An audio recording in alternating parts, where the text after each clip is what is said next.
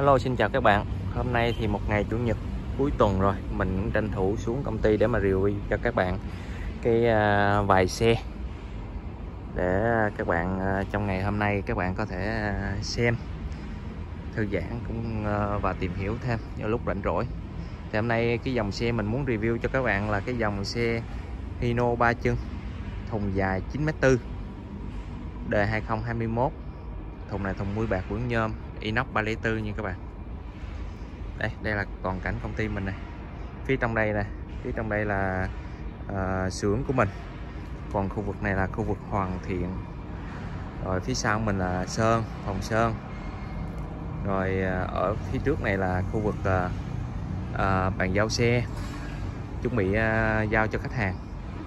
Đây còn khu vực này khu vực đậu đậu xe hoàn thiện luôn này thì hôm nay cái con mình giới thiệu cho các bạn là con Hino. À, thùng dài 9m4 này á, thì hiện tại là bên mình đã có mẫu rồi. Mình à, đây là một trong ba chiếc mà mình à, giao về Kiên Giang nha các bạn. Như các bạn được biết thì Kiên Giang thì cái vùng giáp với biển rồi. Thì à, cái hơi biển vô hơi hơi nước mặn vô thì nó sẽ rất là nhanh ăn mòn các chi tiết bằng sắt đó, thì hôm nay mình đóng cái mẫu này mình muốn review cho các bạn về cái loại thùng mà bên mình đóng để giao khách hàng. Thì thứ nhất, cái loại thùng này có chiều dài kích thước là 9m4 rộng là 2m350 và cao là 2m150 nha các bạn. Cái bẩn nhôm này là nó cao à, 7 tấc 8 tức là 777 à, đúng rồi 780 á. Đây thì bây giờ mình sẽ đi gần hơn cho các bạn quan sát nha. Thứ nhất là cái cái về cản này.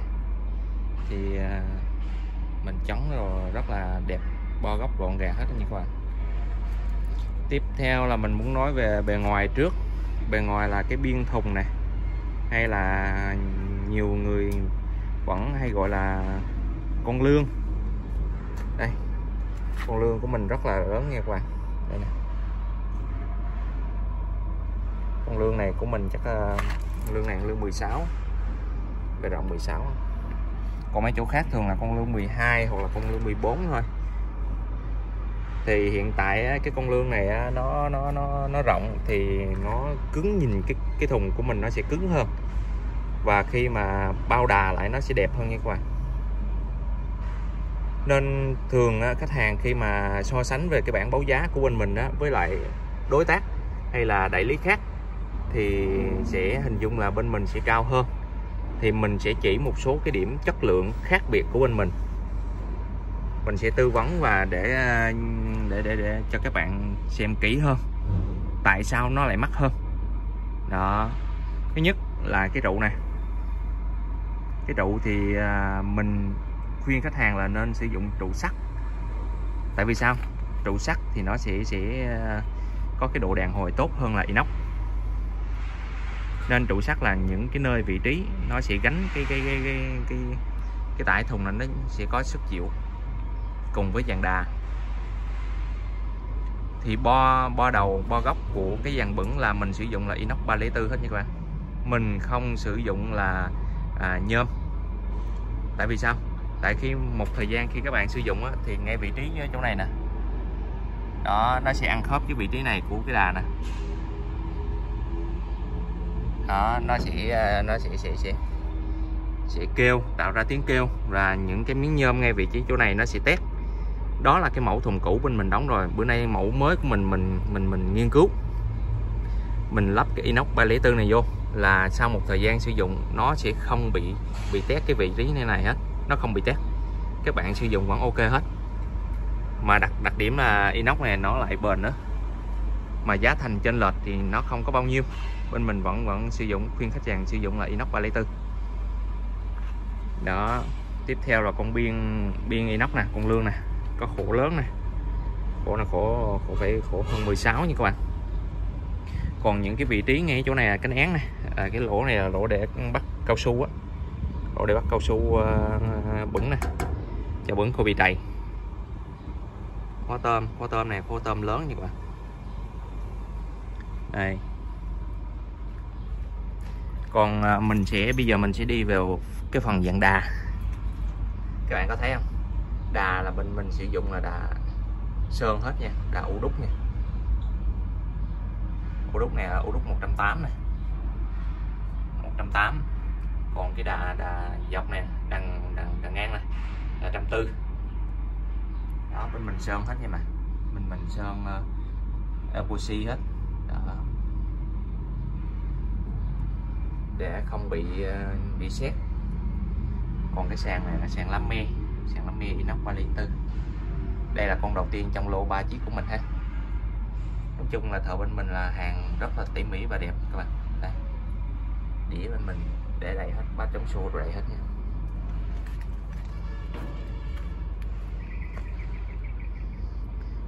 Các vị trí mà bên mình bo góc rất là tròn trịa và đẹp nha các bạn. Không có chi tiết nào gọi là uh, thô. Thì trên cái bửng hiện tại á, là mình sử dụng cái cái uh, móc bạc là móc bạc uh, có trụ có thanh sắt nè ổ thanh inox nè lòn qua nha không có như trường long, một số đơn vị khác nữa, là mình sử dụng cái cái cái móc như cái móc áo đó. thì khi mà khoan vô thì chỉ có vị trí này nó chịu lực thôi nè. Đó.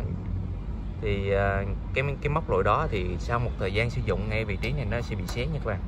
Còn bên mình sử dụng cái móc này nè, cái móc này nè, thì nó gánh hết với nhau luôn, nó chịu lực sẽ tốt hơn. Nó không có bị bị xé sau về lâu về dài, không bị xé rồi ở đằng sau ở đằng sau thì mình chỉ giới thiệu cho các bạn ha. Là về cái uh, cái lam thùng này cái lam đèn này, cản này, mình vẫn sử dụng là inox 3 ly tư luôn. Rất là đẹp nha các bạn có vị trí bảo vệ đèn có thanh bảo vệ đèn. Cái vỉ sau này vỉ sau cũng bằng inox 3 ly tư. Cái thanh uh, thanh bát bắt đỡ vì sau thì hai bên mình sẽ có hai con tôm và phía dưới mình cũng có hai con tôm nha. Ví dụ như khách hàng mà chở chành xe hay gì đó thì mình có ờ, muốn mở cái vỉ ra để mình nhét đồ vô thì nó cũng vẫn được. Mình chỉ cần mở hai con tôm mỗi góc thôi là mình có thể lấy luôn nguyên cái vỉ ra rồi.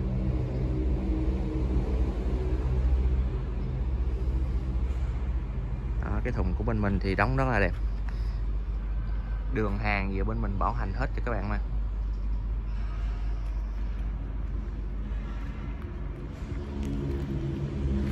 Hiện tại thì cái xe này á tổng luôn cái xác xe sắt xi với lại cái thùng mũi bạc nè là 9 tấn nha các bạn. Tải trọng xe cho phép chở là 14 tấn 8 là chưa chưa tính 10 phần trăm quá tải đó. Tổng trọng tải của xe là 24 tấn. Xe này thì mở chín bẩn như các bạn. Đây mình mình sẽ đi xa xa ra cho, cho các bạn thấy tổng thể hết luôn.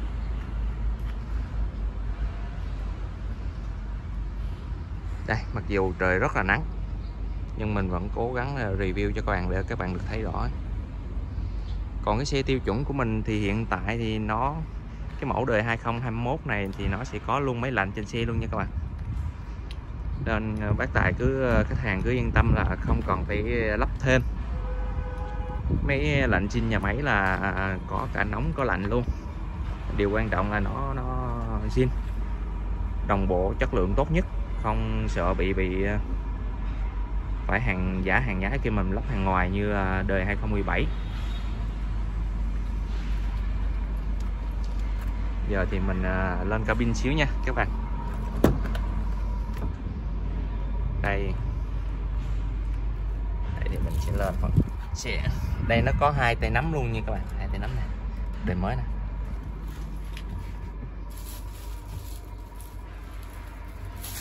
Vị trí này thì à, kỹ thuật viên chuẩn bị là lắp uh, lắp hộp đen nha các bạn. Đây. cầu chì hộp đen sẽ mình sẽ lắp bên đây. Đây máy lạnh nè máy lạnh xin xe nha các bạn. Nội thất thì chỉ xây à, từ Euro 2 lên Euro 4 nó chỉ thay đổi một xíu thôi xe Euro 4 thì bữa nay nó được trang bị thắng hơi lóc kê nha các bạn. Nè, thắng hơi toàn phần có lóc kê. Số thì vẫn vậy, không có gì thay đổi hết.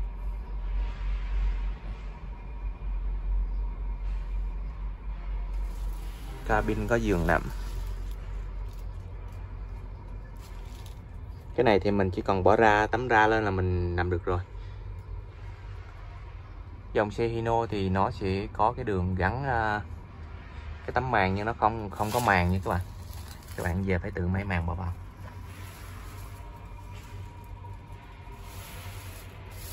Đồ nghề theo xe thì nó được bỏ thì đầy đủ trên xe luôn nha. Con đội nè đây quay lết đồ nghề rồi tắc kê nè ha.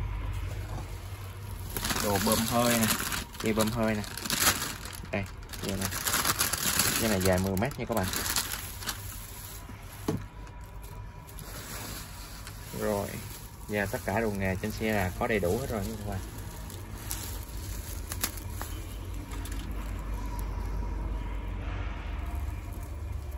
Đây thì à, sau đây mình sẽ kết thúc cái phần video này. Nếu các bạn muốn biết về giá giá xe thì hãy gọi cho mình. Thì hiện tại bên mình đang chào cái xe này, giá taxi nó là 1 tỷ, chỉ trên 1 tỷ 6 một xíu thôi. Nếu các bạn muốn biết chính xác thì à, tại mình không báo giá trước cho các bạn vì mình không biết cái thùng của các bạn là đóng theo tiêu chuẩn như thế nào. Thì mình sẽ có cái giá tổng ra cho các bạn luôn nha. Hãy liên hệ với mình để biết thêm thông tin của xe ở số điện thoại phía dưới video nha. Sau đây mình xin kết thúc cái phần à, review cái xe à, Hino 3 chân, thùng mũi bạc.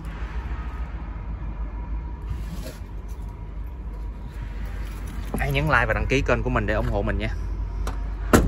Xin chào và hẹn gặp lại các bạn.